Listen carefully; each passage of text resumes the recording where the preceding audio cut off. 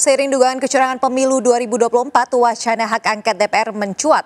Tim pemenangan nasional Ganjar Mahfud mengusulkan agar DPR menggunakan hak angket untuk mengusut kecurangan Pilpres. Usulan tersebut juga didukung Capres nomor urut 1 Anies Baswedan.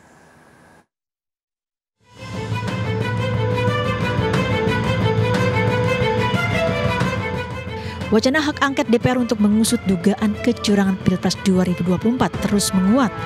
Capres nomor urut 3 Ganjar Pranowo meminta fraksi PDIP menggunakan hak angket untuk mengusut dugaan kecurangan pemilu.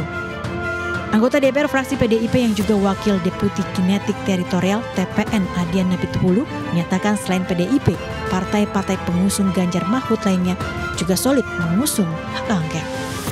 Pak Ganjar, Pak Anies sudah sepakat untuk mengajukan hak angket beserta dengan partai-partai pendukungnya. Ya kita lihat saja di parlemen. Kita tidak sedang mencari kalah menang saja, tapi kita sedang mencari kebenaran-kebenaran itu sendiri. Kalau ingin melihat, membuktikan, mengetahui, hak angket paling bagus karena kita menyelidiki. Itulah yang kemudian saya usulkan waktu itu. Di bawahnya interpelasi.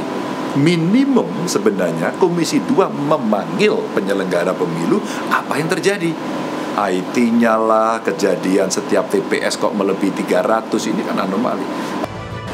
Tanya dari paslon 03, Capres nomor urut 1 Anies Baswedan menyatakan Partai Koalisi Perubahan juga mendukung hak angket mengusut kecurangan Pilpres. Siap, saya memandang dengan adanya inisiatif angket, proses di DPR bisa berjalan. Kami siap dengan data-datanya, dan di bawah kepemimpinan fraksi terbesar, eh, maka proses DPR bisa berjalan. Saya yakin Partai Koalisi Perubahan siap untuk menjadi bagian dari itu. Nanti kita kabarin. Hak angket adalah hak untuk melakukan penyelidikan terhadap pelaksanaan suatu undang-undang, kebijakan pemerintah yang strategis dan berdampak luas pada kehidupan masyarakat. Hak angket wajib diusulkan minimal 25 anggota DPR dan lebih dari satu fraksi. Tim Liputan Ainus melaporkan.